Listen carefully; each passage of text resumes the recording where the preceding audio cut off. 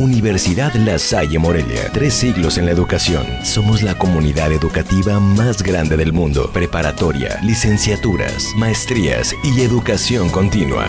La Salle, profesionales con valor.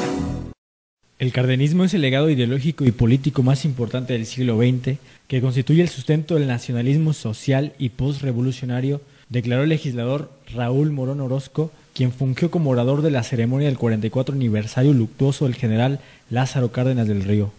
Destacó que tanto la expropiación petrolera como la nacionalización de los ferrocarriles fueron actos de gran trascendencia en la vida económica y social de México.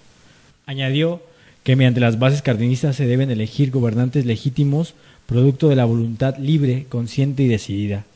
Acto seguido, y con motivo del 204 aniversario de la abolición de la esclavitud, el presidente municipal de Morelia, Wilfrido Lázaro Medina, y representantes de los tres niveles de gobierno colocaron una ofrenda floral y montaron guardia de honor en la placa alusiva a la culminación de este maltrato ubicada en la fachada del Palacio Municipal. Para Cuasar TV, Héctor Moreno.